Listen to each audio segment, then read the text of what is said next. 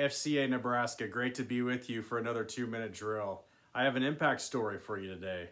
Uh, the story does start off on a little bit of a sad note, though. I, I was just recently at the funeral of a, a former uh, pole vault coach from Kearney High School, Bob Talbotser, passed away after a fight with cancer.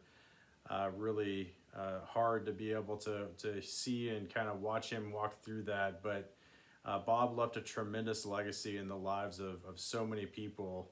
And, and really, Bob got involved with FCA through another tragic event. Uh, a lot of you guys may be familiar with the Todd Becker Foundation.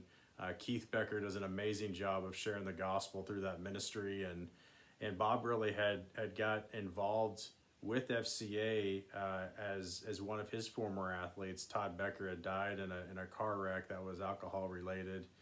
Um, God works all things for the good, though, right? Because Keith's now out there sharing the gospel through Todd's story, but but uh, God used that event in Bob's life to be able to help him see the need that he had to be able to share Christ with kids and felt like FCA was a way to do that. And so as he went along, he got in front of a lot of different kids and, and certainly had an impact in many. But after the funeral, I, I walked up to a, another coach that I knew, a guy by the name of Nate Palachek, who's now the head girls track coach at Kearney High School. And and I knew that Nate had vaulted for for Bob, and I just asked him, you know, like what was the most meaningful thing to you about Bob, and and Nate simply responded with just saying that Bob cared for me spiritually.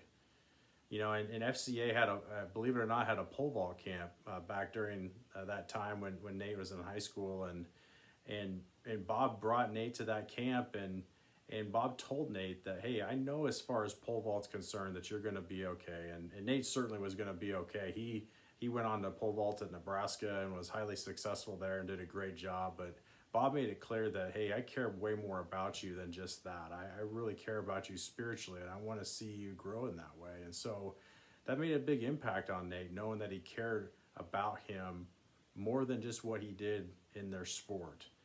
And and now Nate's the the head girls track coach at Kearney High School has a chance to, to leave that same kind of legacy in the lives of the kids that, that he now coaches. And so uh, you never know what you say when you're intentional with people and, and bringing Christ into the conversation, the kind of impact that'll make.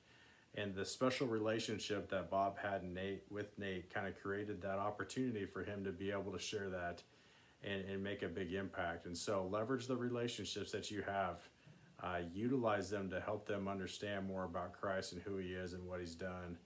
And I know God will use you to make the same kind of impact in the life of someone else as well. So thanks for listening. Hope you have a great day.